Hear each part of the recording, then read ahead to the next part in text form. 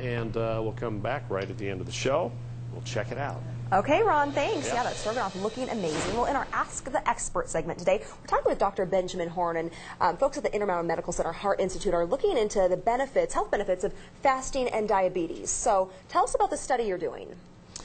Well, we've been studying fasting for a period of about 10 years, and we've done a number of studies in which we've been able to study fasting because a large proportion of the Utah population fasts on a routine basis. And through those studies, we found that uh, routine periodic fasting, not, not eating anything, uh, any food for a, an extended period of time, has uh, uh, people who do that have a lower risk of diabetes and also coronary artery disease. Okay. And we've gone on a recent study that we've just completed that is being published this year in a, an academic medical journal.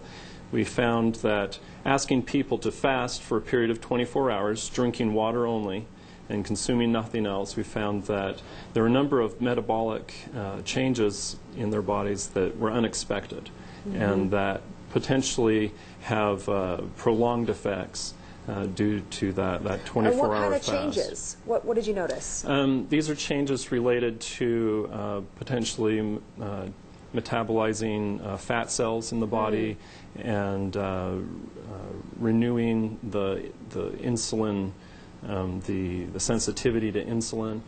Um, human growth hormone went up substantially, which has uh, potential. It's an antagonist to insulin, which are the that's the process that insulin becomes body becomes resistant to insulin And you said in to, diabetes. to fast for 24 hours, but how often between that time? Well, that's what do we it? don't know, and so we have a new study that we're starting now that we're going to study period of time how long Between. people should be fasting. And in this study, individuals who are pre-diabetic or have diabetes and control it by diet alone, they, they can't be on any uh, medications to control diabetes, but Mm-hmm. they will be asked to fast once a week for a period of five weeks to see what metabolic changes occur uh, during that period. And that's a study that you. When will that start?